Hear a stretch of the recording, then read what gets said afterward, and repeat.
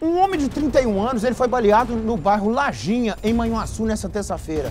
É, segundo a Polícia Militar, a vítima foi surpreendida pelo suspeito quando estava em um beco. Estava ali no beco que dá acesso à casa dela, né? A vítima. O criminoso chegou a pé, atirou várias vezes, atingindo a vítima com quatro disparos. O suspeito fugiu e até o momento não foi encontrado, né? A vítima não soube dizer quem seria o homem que fez os disparos. Segundo a polícia, o homem que foi baleado tem passagens por participação em diversos crimes, né? É, e aí, se ele não sabe dizer à polícia quem foi o autor, né? Muito menos saberá dizer o motivo, né? Então, quem tiver informações, câmera de circuito de segurança, quer dizer, a pessoa está no beco da casa dele, vem o outro lá correndo, sapeca fogo, né? É. Pessoa tem que estar no lugar certo, na hora certa, né?